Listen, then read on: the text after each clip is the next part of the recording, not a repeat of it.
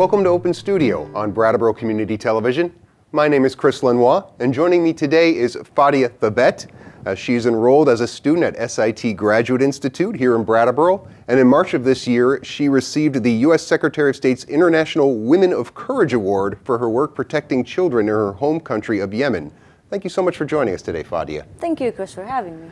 So there was a recent story in the Brattleboro Reformer about you coming here, and I just wanted to get a kind of a more of a geographical sense of South Yemen, where you did your work, because a lot of times here in America we hear a country and we just assume one country is the same all the way across, and I'm, I'm sure that's not the truth here. South Yemen, we were just talking about, is a, is a coastal area yes. uh, on the uh, Gulf of Aden in the Arabian Sea. Uh, is it rural? Are there a lot of population centers? What, what's it like there? So, uh, well, Yemen is just like divided between the north and the south. I mean, through the history, we have uh, the, the British colonizations in the south, and we had the Ottoman empires in the north. So, so the south, my city is considered as the second biggest city after the capital in uh, in the north. It's called Sana'a. So it, my city is called Aden. A very modern city. We are around like 800,000 people living there. Uh, it's an open to the oceans, open to the um, Indian Oceans and the Arabian Sea. Uh, it's a very modern. Most of the people who coming from uh, different villages around um, South Yemen coming to Aden for kind of like receive a medical treatment or uh, youth who graduated from high school going to universities. So it's a kind of like a modern one, like after the capital. Uh, and we have also uh, a port in, in Aden. that, yeah. yeah. we do. So that's kind of like um, a transitional stations for Aden to be uh, in contact with different kind of countries like India and Europe. But still, like we still like struggling how we function that very well. But it's I mean it's something uh, very remarkable in uh, in Aden. And also I guess the other thing that difference this I mean especially Aden than other cities in Yemen as I said, because of the British colonization, so we had four churches in Aden, and we had like one populations of Christian Christianity still in Aden, and they are functioning, and they are just like having their families. They being there for more than 20 years. So that that I mean that's all just like before the war. Right, it's not like right. the same scenario it is now. Right. Yeah. Well, you, you talk about North Yemen and South Yemen, and that really, I mean, there's a historical divide there, but that also is very much a division in, the conflict going on there Yeah. right now as well, right? Yeah, so I mean, the thing is, it's becoming like, as you said, it's a historical thing happened since 1986, and then after the reunion the, the, between the South and the North uh, in 1990s, and still the South is still demanding for the separations from the North, and I guess um, after the uprising that we had in the region in the Middle East that started from Tunisia and then coming to Egypt, Yemen had also like a part of that um, and people are still demanding for the separations. And I, that was actually part of the national dialogue that we had after the uprisings. But I still now, I guess people are holding it off to just like finish this kind of conflict that affected the whole country. But I guess it's it's a legitimate dem- uh, demands from the south. I mean, um, there is a kind of like a lot of um, talking about. And well it's not a talking actually. It's a fact that a lot of uh, violations that are happening from the north against the south and the segregations for like job opportunities uh, headquarters of like government even the budgeting and the financial um issues related to the government the south will be especially aden will be just like undermined. It's not like giving the right thing to the south. So that's that's why there is a kind of like southern movement in aden still demanding for separations of south from the north in a very peaceful way. Before the war like every month they will go like once in a month they will go to protest and just like gather just like people gathering like mingling together and holding the um, the flags. And I guess the other thing is, if you look back to the history before the reunion between South and North, there was a like a completely different, like separate countries. We had a name, they had a name. We had our own flag, they had their own flag. So, and then you can see from the maps that the borders was just like between them. Yeah, well, you talked about the, the uprising in your country and other places here, and uh, over at least here, we refer to it as the Arab Spring. Yeah. I hope that's okay. We can use that Yeah, we phrase can as, a, use as it, a yeah. Uh, that seemed to be a time for you that was a little bit of a change because you were a computer science student. That's true. And then you started working uh, with African refugees Yes. coming to your country. Not really something that is necessarily an intuitive switch. Uh, how did you see that, or what, what prompted you to make that change in terms of what you were studying versus what you were doing?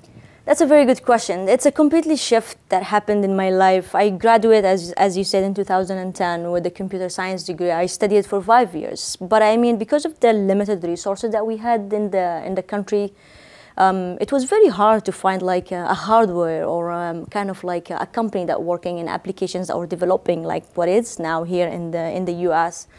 Um, so you're getting this kind of like skills in computer and at the same time as I, as I was mentioning before the interview you have also an english language. So you are really qualified for getting any job um, within organizations. So the private sector was actually my directions. I was trying as much as i can to get a job with kind of like companies not just like with ngos but i didn't succeed. And then i applied for that local ngos uh, that work um, with refugees, who, as you mentioned, who came from Horn Africa, from uh, Somalia, Ethiopia, and sometimes from a little bit numbers from Sudan uh, coming to Yemen. It's just like a transitional country for them because they are looking for a better life, but not in Yemen. Our circumstances or our like um, natural resources is not like I mean something that people are looking up to. Uh, but it's they are just like considering Yemen as a transitional um, station for the Gulf countries, so they can go to Saudi Arabia, they can go to Oman, and sometimes they will just like walk for days and days and days after they reach um, to the um, to the south. Um, so I started working there. I applied. I got the position. So my my position was computer science. My position was like collecting data from the field, um, fixing a network and maintenance issues like related to the printers or hardware. So it was all related to my web develop, uh, developing.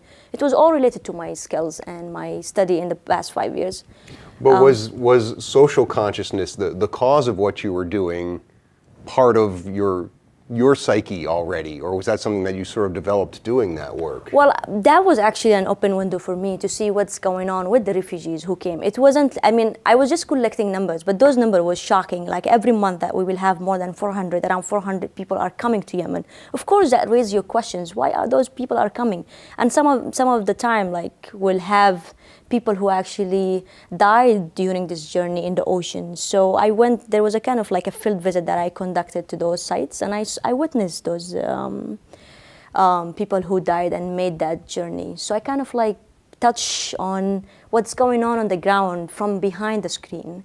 And, then- then I got an opportunity to attend a training um, uh, in Jordan about international humanitarian law and refugees conventions. I can get off like, um, it was, that training was a shift. Sure. Yeah, so I was just like, I don't want to be behind the screens anymore. Just like, let me just like move to the field. And that's how I applied for my other positions. I quit from that and I applied for another position. Well, I got to think what was happening around you too with this Arab Spring movement and this awakening. You, you had to have this feeling. Uh, they call it zeitgeist here. I don't Yeah. know. You know, as far as you know, this this collective feeling of, of hope at, at that time. Was that something? I mean, from the outside, it certainly was built that way. What was it like on, on the inside of that? You exactly described it very well. It was a hope for all of us, especially the youth. I mean, the uprisings or the Arab Springs in Yemen, it was for unemployment, corruptions, uh, 30 years of dictatorship. So we wanted some kind of change.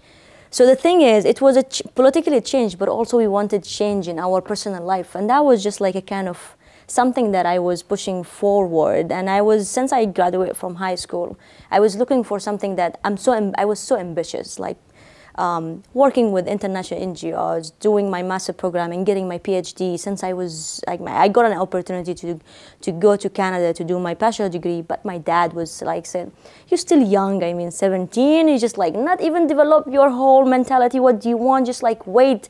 There is another chance will come." And that's exactly what happened. So I applied for the second position. unfortunately they wanted me to be like um, the same in the same context of like database and web This is with the. United Nations. This is yeah, and Right. and Danish Refugee Council. It's an international NGOs. And then I said no, I'm not accepting that. They said you have an experience, and we really wanted you in this. And I said, well, I applied for child protection assistant. That was my application form. They said you're likely not getting that position. I said, well, that's fine. So I walk away. And I went back home, and then my, my parents asked me, How was it? It's like, I don't think so, I'm getting it because I, because the interview was just like hard because I didn't I didn't have the experience on the ground, uh, and then they called me. and then they called you and you started doing this work and, and Yeah. really being exposed to a lot of atrocities being committed against young people Yeah. uh, in, in Yeah. Yemen. A lot of people would check out from that. A lot of people would say, you know, thanks, but no thanks. Uh, you know, for you, it seemed like it was a launching pad. Uh, you can say no, and you can say no. It's not my responsibilities. That's something that I guess I grew up with um, with my family in a house that every individual is like we counted on individuals that you have your responsibilities, you have your own duties that you need to fill in, and being in the field and uh, for example, like the first year that I worked, it was um, I worked with uh, in South Yemen with an area was controlled by Al Qaeda, Ansar al-Sharia, a small group coming from came from Al Qaeda, and I was so I was I was recruited in February 2011, and then I had the opportunity to go for the first mission in my life, 2012, in July after Al Qaeda left. So that was my first mission to the field after a very heavily, um, very heavy um, conflict that happened from them. So I, I was just, we had a training for security, we had training about five days, what we have to do, what we're going to do, but we, you, you would never like expect what you're going to see in the field. And I was joking with one of my friends and I was just like, what if something happened for us? Because we knew that they used land, line mines and you didn't know. So we don't have this kind of like equipments or tools that we are going um, with in the field. So I was joking with my colleague that he died um, um, in the war, and he's uh, we were just like talking about like what if something happened to us? Yeah. Uh, and I mean, it was still a dangerous area to be going into. You said Al Qaeda had left, but I mean, I'm sure it's still Yeah. not necessarily a safe zone. Exactly. I didn't sleep that night. He didn't sleep, and it was for both of us. It was for uh, for us. It was our first mission, and then we. Uh, the funny part, I mean, it's not funny anymore. But we went to the HR and we asked what what what will happen if we're going to die there. What's what will happen to our family? How are we going to inform them? And I mean, part of the security, we had even to just like write our numbers and uh, blood category and blood groups in our hands and legs, just in case that you've been blew up by something. Or I mean, the intense was very hard, but we took it like as, you know, this is our obligations, this is our safety, and that was my first mission in the field in general. Yeah, yeah. Well, it I still remember the details of that trip. I'm sure it's etched in your mind, and it, it was a launching pad for you because really uh, the next big stop for you was this Hold a Pen, Not a Gun campaign, Yeah. which I think is, is really amazing. I I would like you to just kind of talk about what it is, but then also, I mean, in the midst of everything that was going on there, how you get word out about that kind of effort uh, under the conditions that you were in. But I guess I guess first let's talk a little about what Hold a Hold a Pen, Not a Gun was. Yeah, so that was a campaign that I came up with after my work with the kids and being really close to them. So I don't call them cases; they are kids, and they some of them they are now in like in my Facebook, even though they've been recruited. For me, it was a principle, and it was like an essential in my work. They are victims, not criminals, and we need to just think about it about that. Um, so I started to launch that campaign because we had some kind of like um, government groups interested to recruit some kids from the south to fight in the north and they kind of used that kind of like division between Shia and Sunnah and they were just like calling for recruitment um, through the imams and through the mosques and I was just like really upset and I had a conversation with my dad um, how we can just like participate and prevent. And that was kind of like preventions. In the first year of the program, like working with Al Qaeda, we had absolutely no preventions What we did, it was interventions like providing psychosocial support, artificial parts, artificial eyes, um, child-friendly spaces, reintegrate them in the schools. But preventions was, was with this campaign. So I ran the campaign in my city because the recruitment that happened in my city. And I was just like really frustrated that, I mean, how they just like pull out and attracted those kids to go and fight. So yeah. there is a kind how, of like... How young were they? They were like high school. High I mean, they were like high school, right. and they use this kind of like an as an excuse, like you have to go fight there because they are being they are just like um, executing sunnah in, in North. So I ran that campaign. I started like, I kind of like develop a plan for my organization. I was like, this is what we're going to do. I need to do all the arrangement. I did the whole coordination. You need to coordinate with the schools, with the uh, education department in the city or in the um, state.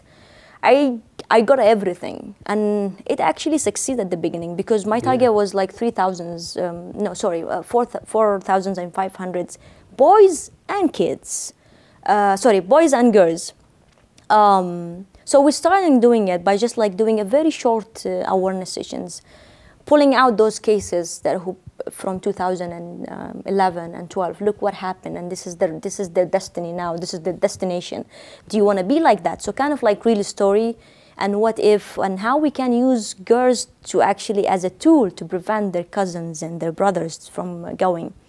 And that was a huge success, but unfortunately, um, you know, when you are working in this field, no one, I mean, not everyone will be happy with right, your work. Right, right. Well, so, so, and it seems to me it had to be very face to face, word of mouth. You can't mass promote you're coming to talk about these things. Yeah, uh, and it was recorded. So right. my voice was really recorded. My face and my, uh, uh, my voice was recorded, and, and I got a call. I received a call. They said, you need to stop it. And I said, why? They said, well, because we don't have, at the beginning they said we don't have like much uh, um, time in the schools. And then I received another call and then I received a text. So it was a, a clear message. Started getting more and more threatening. Yeah. Yeah. I guess you can kind of look at that as a measure of success in a way. I mean, the fact that yeah. you reached a certain level of the, they feel threatened, uh, you were you were doing the right thing in an effective way. Do you do you take it that way? Or? Yeah, I did, okay. and also at the same time. So the campaign, as I said, it was preventions. We received a lot of a lot a lot of calls um, from girls who are actually saying that we are preventing. Uh, my, I prevented my cousin to go. I explained exactly what you did for us.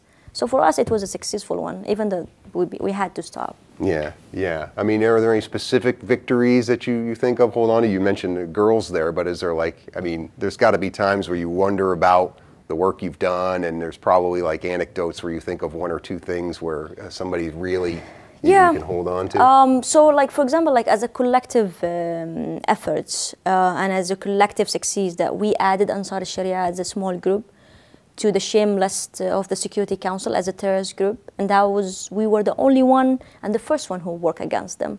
That was uh, in 2011. In 2014, we um, we work with the government, but also we work against them by like stop child recruitment in the military because the constitution was different. The constitu- child age in the constitution was 15, and we were pushing very hard through policy advocacy to make it uh, 18th. So we had to report about those kind of violence because the because the Yemeni government signed the um, Child Rights Convention. So we are using international treaties to put pressures on the on the government, and we forced the government to sign national action plan. We had a huge success in May 2014. Um, the UN representative came to Yemen and she signed the national action plan with the government. Nice. Yeah, and in addition to individual, I mean, like individual stories, when you are seeing a kid, it's just like he's completely held, and I mean, like there is no, still that I mean, like scars and everything. But it, when you have this kind of a kid who's been recruited by Al Qaeda and he's been now very active, voluntary work with the government, and he's active and he's doing well in the schools that's kind of like, I mean, a huge success. I mean, it's just like an individual stories. Yeah. yeah. Seems like the last couple of years you've been more over here in the United States, kind of doing work from afar. Uh, on, on is that is that accurate to say? I know you came to Minnesota in 2015. How often are you going back and forth between the United States and Yemen as you do your studies? or- Unfortunately, I haven't gone since I Okay. arrived. The thing is, because the, the country in conflict, and it took me 25 days to arrive to the US yeah, yeah. to do my Fulbright in Right. Minnesota. So for me, it was really hard to go back. My family's still there. And also at the same time, because of the recent conflict, my organization had to evacuate their stuff Yeah. and close also their offices. And I was the only one left in 2015 worked against the militias who's running now the, the, the war against the government. So I haven't, uh, but I'm still like very active and outspoken on Facebook about these militias because I witnessed their crimes. So I'm trying to be just like advocate for that. Well, so like us, we, we you see the same reports that we do, and it seems like the conflict is intensifying, Yeah. if anything, in a lot of parts of, of Yemen. Uh, when you see those media reports, uh, I mean, how, how do you feel as far as their their accuracy, or, or what are missing from them in terms of what the American media is uh, can maybe give a little bit more nuance to the reporting that they do about your country? Thank you very much for asking these questions Yeah. because this is actually my message. Uh, The thing is, the international media is just only focusing on the coalitions and um, the Saudis' interventions, the airstrikes. Yes, we had violations from the Saudis. I'm not saying no. I'm trying as much as I can to hold the stick from the middle and saying that we had war crimes committed from those militias, which is 40% according to the UN report and statement, and we had 60% from the coalitions.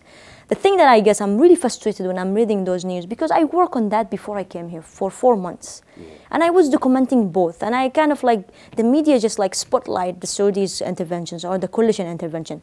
Yes, they committed war crime. I'm not biased here. I'm trying to get justice for everyone, but also we have the militias here no one covering it while they are committed and sniper kids and women in front of their families in the street so that and they prevented like medical support they surrounded city under siege and the line mines so they blowing up houses for people who are not affiliated with them those is just like missing from the international media that we need to talk more about it Yeah. Yeah. And and how about fr- from the inside? I mean, how how hard do you imagine it being for people in Yemen right now to be able to to get accurate information about what's happening, especially when you're talking about these different factions controlling different parts of the country, north, south, or even just along the southern part, it seems. Uh, Yeah. It feels like wherever you are, you're getting a certain story, and it may not be the whole story. It's got, got to be difficult to get kind of a three dimensional picture of the truth from the inside. That's true, and I guess also people are like CBOs or and local NGOs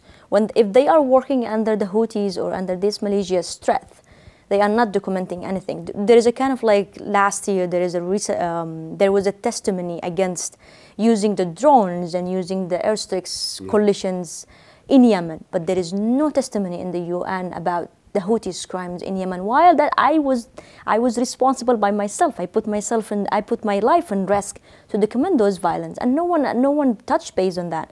And I guess the thing is I do understand the fears because when you are still there and your family is still there, you know, when you are dealing with mercenaries, they don't have a kind of like mandate. They don't have even a kind of like they have a lead. They have a leader, but you can't talk to them. So they, you can't hold them accountable for the rewards if they are providing your safety, like an international NGOs or even like a local one. So I can imagine how hard they can document it, but also it's coming from fears that we don't we don't want this. Right. Yeah. Well, and I, I wonder, you know, I mean, how how it's probably not even possible to come up with like a consensus opinion of Mm-hmm. the United States or, or anybody who's an ally or advocating Mm-hmm. uh, for Yemen or, or the other countries in, in the Middle East. You know, I mean, certainly both this administration and the previous administration have committed some pretty horrendous atrocities in your country as well. Is there is there a consensus opinion as far as the United States in, in Yemen? Well, the thing is, um, so we have a huge history with drones in Yemen um, since 2009. We had um, a funeral that just like people, a thousand, I mean, not a thousand, hundreds of people died, innocent people, because just they wanted to kill two from Al Qaeda leaders in a wedding. We had. Um, we had a different kind of incidents, recent incident that happened, and they killed 13 kids and four women. And unfortunately, Al Qaeda leaders, he just like um, he did, no one touched him. So the thing is, there is this, and this is actually um, breathing the way that while the U.S. is against us, is not with us. And the militias, they're kind of like their flag. It's the the, the first thing that in their flags that the posters that death to America. So they are we are breathing this idea like well they are killing our people, they are killing our kids.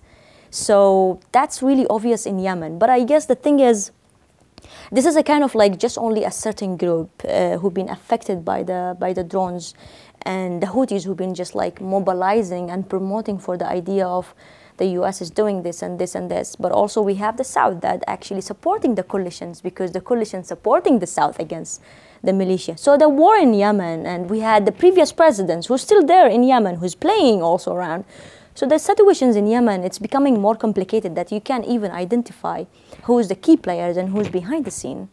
Yeah, and I'm doing that now because of my study here. So I'm trying to analyze very hard, the, coming from the inside and I'm looking at it from an outside, who's here and who's with this and who's with that. Yeah, I was looking at uh, some of the people who have won previous uh, Secretary or the, the Secretary of State Award, the International Women of Courage Award that, that you were recipient of mm-hmm. back, back in March. And I mean, really impressive when you read some of the bios of, of people, including yourself. Uh, how, how, do you take an honor like that? What, what is, how do you contextualize something like that? I mean, you're still very young, you're still, you know, doing a lot of this work. It feels ongoing to you. So how do you take an award like that?